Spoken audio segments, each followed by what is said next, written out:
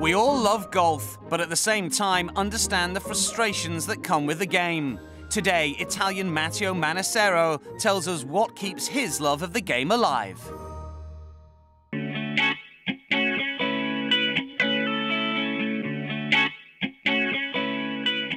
First of all, uh, it's something I've done for all my life and I never got tired of it.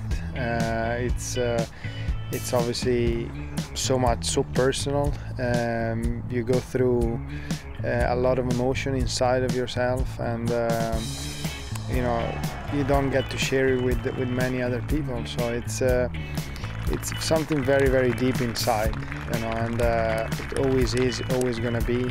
Uh, we play some team events, but mainly it's just ourselves on the golf course and uh, all the achievements, all the down moments. It's uh, you. You have to reflect on them, and it's it's great because of that and the satisfaction that gave me uh, in these years has been uh, been you know one of the best things of my life. So I guess that's uh, that's the reason why.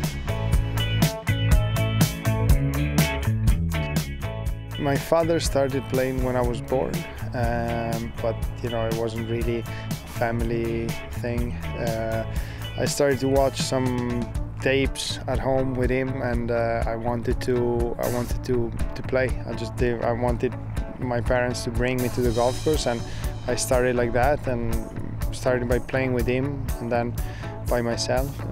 didn't stop.